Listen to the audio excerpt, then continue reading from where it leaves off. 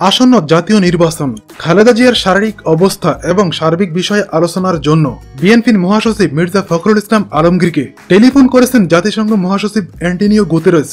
এ সময় খালেদা জিয়ার গ্রেপ্তারের পর ধ্বংসাত্মক কর্মসূচি না দেওয়া এবং রোহিঙ্গাদের বাংলাদেশে আশ্রয় দেওয়ার জন্য জনমত সৃষ্টিতে বিএনপির ভূমিকার প্রশংসা করেন জাতিসংঘ মহাসচিব।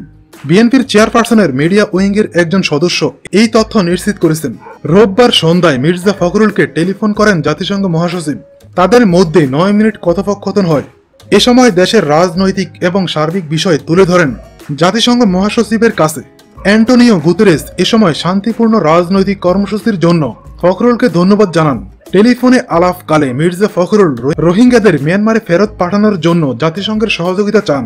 খালেদা জিয়ার মামলার বিষয়ে জাতিসংঘ মহাসচিবের কাছে সংক্ষেপে তুলে ধরেন তিনি। এর আগে খালেদা জিয়ার স্বাস্থ্য পরীক্ষার জন্য শনিবার তাকে বঙ্গবন্ধু শেখ মুজিব মেডিকেল বিশ্ববিদ্যালয়ে নেওয়া হয়। সেখানে প্রথমে তার রক্ত পরীক্ষা করানো হয়। এরপর করানো হয় এক্স রে এরপর আবার তাকে কারাগারে নিয়ে যাওয়া হয়।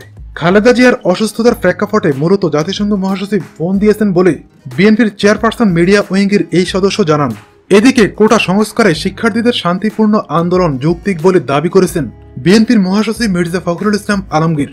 তিনি বলেন দু বছর আগে কোটা পদ্ধতি সংস্কার করা হলে আজ এমন পরিস্থিতির সৃষ্টি হতো না।